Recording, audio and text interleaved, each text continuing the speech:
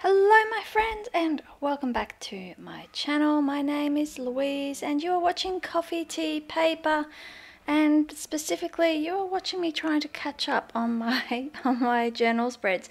Uh, so I thought I'd come on and we'd do it together today because I'm finding that if I can record my video and record my voice at the same time it's maybe not as polished but it's certainly quicker for me to edit. So let's do that.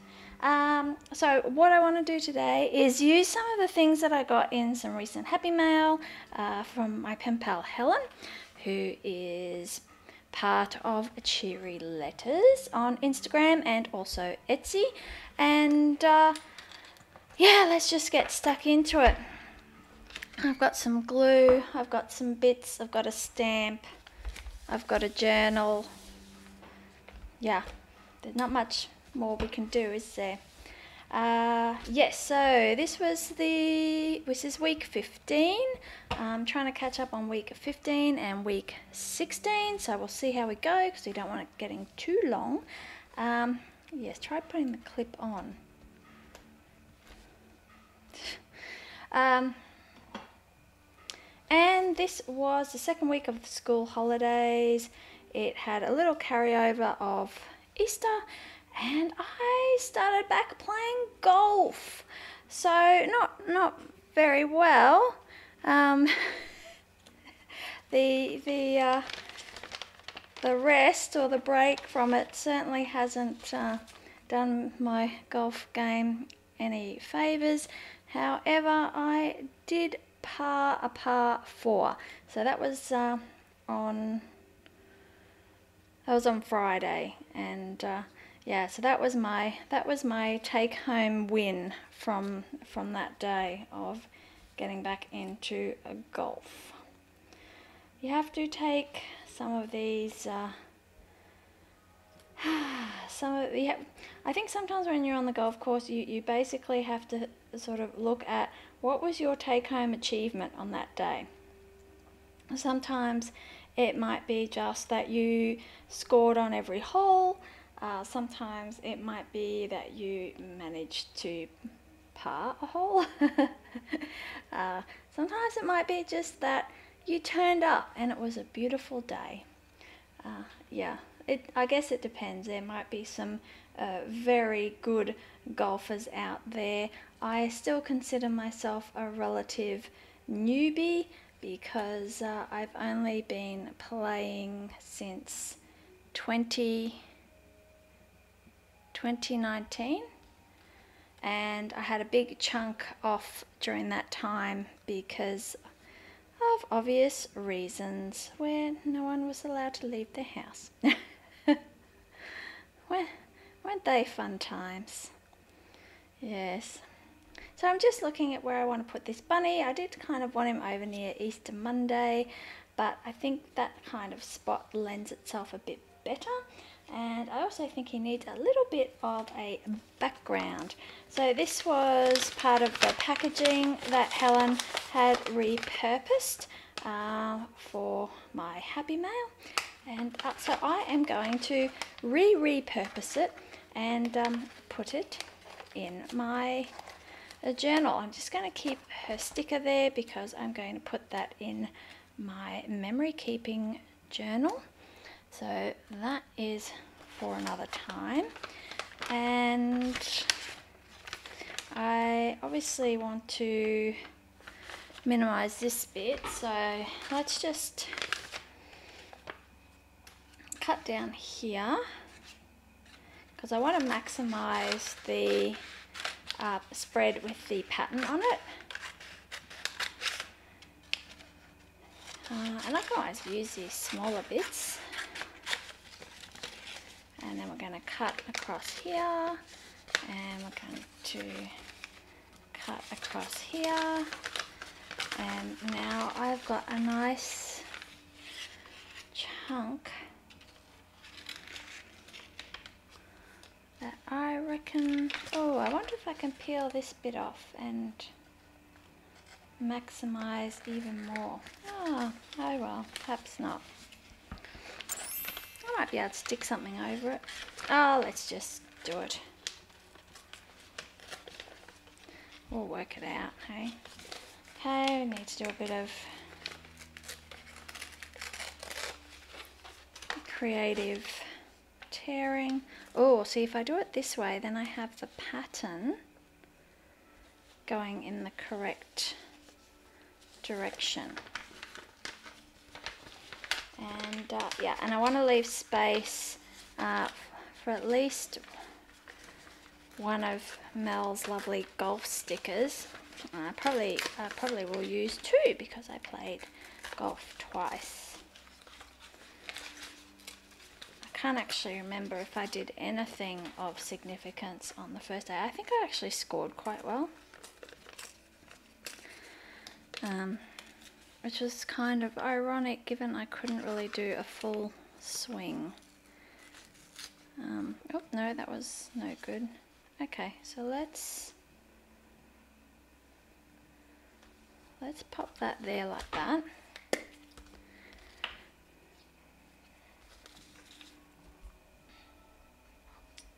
Uh, yeah, if there are any fellow golfers out there, I would love to hear from you. Say hello. Um, let's not tell each other our handicaps because I would be very embarrassed about mine. Mine uh, was going very much in the correct direction there and I, I thought uh, it was you know a sign that I had mastered mastered the game oh the irony and uh, yeah then I don't know, just a number of things started to creep into my game that were not very good. You get sort of bad habits and sometimes you don't notice them. Um, and little things creep in or you might go through a phase where for some reason you just can't putt uh, and you can't read the greens at all and all of a sudden you might be on the green for two or three shots and then what do you do? You then do three or four putts and all of a sudden that hole is no good anymore. Uh, but you know, it's it's funny because I do like a challenge, but sometimes I think when you feel that you have mastered something, you get kind of blasé about it. And uh, golf is not one of those things. Uh, I think that's what keeps uh, me coming back. And I think I will be playing it for as long as I possibly can. And I will probably never really feel that I uh, will master it. Um, which uh, I know drives some people absolutely nuts and causes them to give up on the game. Uh, but I think that's actually what keeps me engaged and just that that ever that ever uh, driving optimism of one day one day you will you'll have that magical round where everything goes right and you do something incredible and yeah you might be shocking the next day but if you get that one day it's what keeps you going.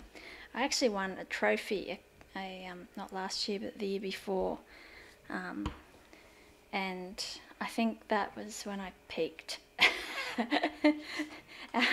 our club had a competition. It has it every year, and uh, in this particular competition, I just happened to have one of those magical days uh, where just everything seemed to go right at the right time.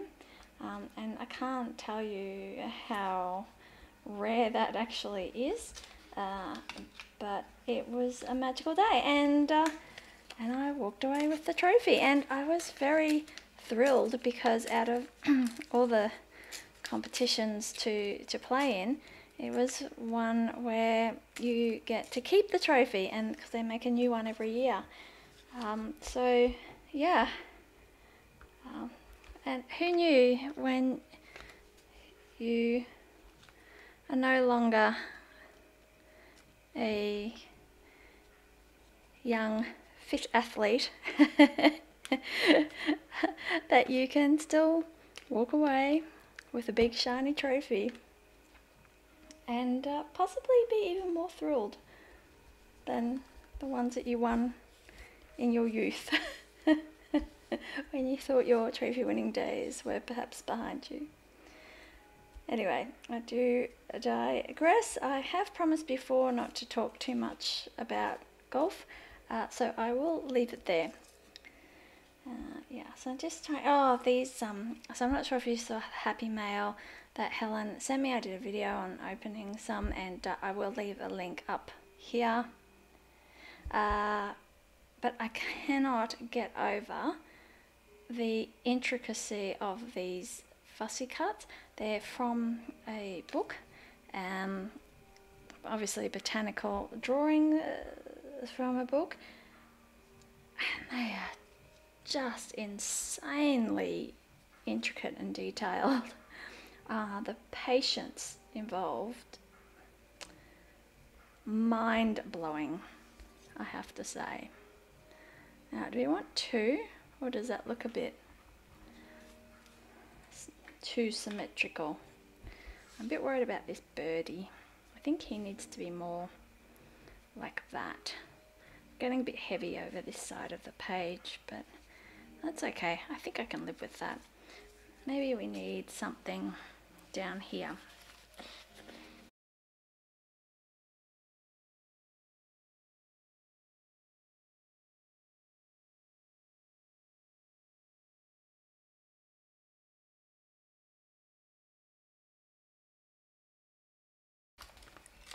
Do you kind of pseudo measure out your um, paper, like your rippy paper for doing your spreads, or do you just rip it and then decide where you're going to place it? I uh, like the look of the torn edges, but I also like them to fit the space nicely. Uh, so yeah, I, I, kind of cheat and um, try and make sure that it still fits in the space.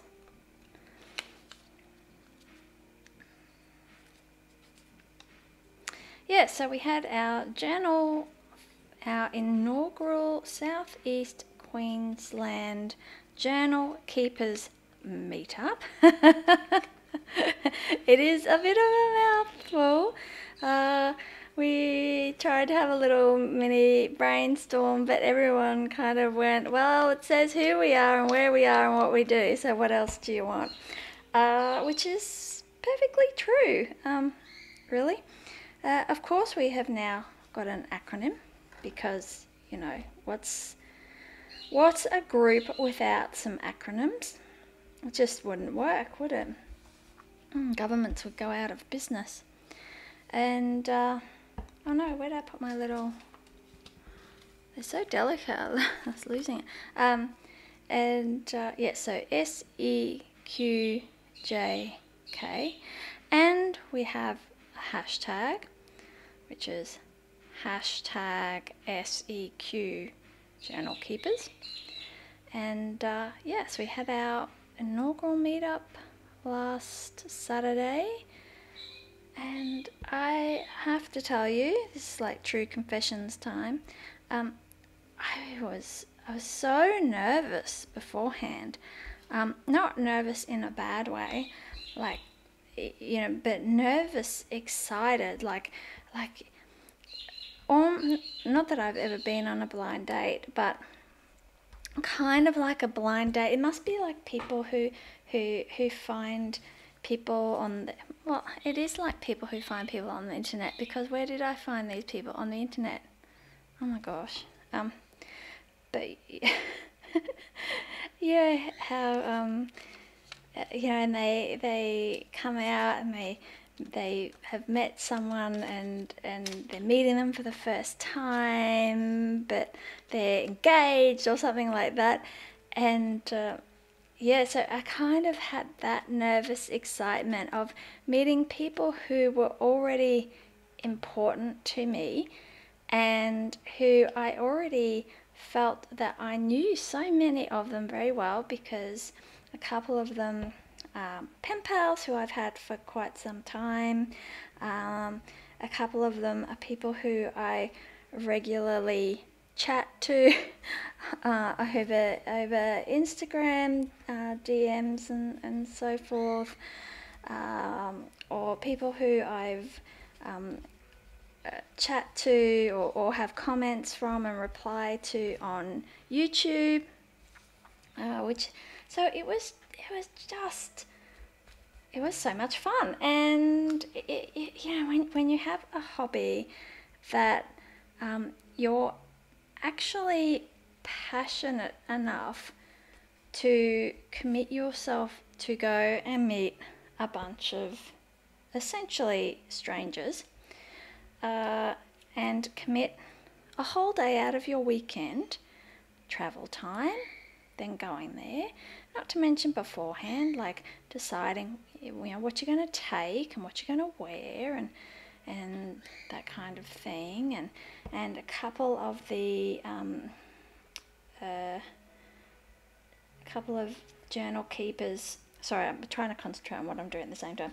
Um, a couple of journal keepers actually made little gift packs for everybody, which was so so sweet. Um, just I've I've sidelined them to work into my April memory keeping. So they they you'll get to see them um, when I do that, which given today is the 27th. We're not too far off the end of April, are we? Oh gosh, I love these. I love these so much. This now needs a couple of golf stickers and some washi tape that sort of has greens and florals in it. So I'm just going to pause and grab a couple of those things and uh, yeah, we'll get back into it. Okay, so I've been and I've grabbed some of these washi tapes. I've got a couple of note and wish. Um, this actually might be a note and wish too. And this one, know where I got this one I think it might have been typo, actually. Uh, yeah. So, and then I also have my cutie cute cute Foxy Golf stickers from Mel, who has been travelling for work, I believe. So I hope she has had as much of an enjoyable trip as you can when you need to travel for work. I remember those days very well. and uh, yeah. Okay, I like him with his green cap. And for this one, oh, I've got the other. I've, oh, one of the ladies, um, I wonder if he's holding up a sign that says quiet please. Because when you see the golf tournaments like we're watching the Masters as well on TV um, you know they have the people who hold up the, the quiet please signs. So I wonder if that's what he's saying. Um, I think I'm going to use this one up here. I'm going to cry, I think, when these are finished. Don't worry, I'll do it. I'll do it privately in my own time. I won't. Uh, I won't share that with you guys. um, oops, these flowers go all which ways. So let's do a strip down the middle here.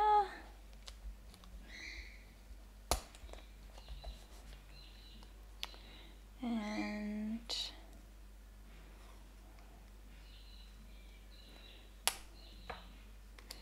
I want to tear this one, but tear it in a way that I don't tear the flowery bits. so I'm going to put that there. Uh, this I might put over here. Uh, let's see, I would definitely need to get some of this green in. Yeah, so I used to travel a lot for work because my um, uh, my team, I had half a team here in Brisbane and the other half down in Canberra. So that was really convenient. Uh, and so I had to, because my job was uh, had a national focus, uh, but I was because um, we had we had offices all over the the country. Um, I was able to uh, work out of where I live most of the time, most of the time. But because half of my team was located down in Canberra, uh, the the higher ups uh, said that I must go down there for once a week every month. Um, so that was always quite disruptive with two children and a husband who also travels for work. Uh, so we were able to juggle it always so that if he was away, because uh, he often has to go to various places around the country as well. So we were always able to juggle it that we never had a time where we were away at the same time, but we did have a few times where we were away in consecutive weeks, um, which was really quite quite a strain on the family, I have to say. Um, and look, I I loved my job.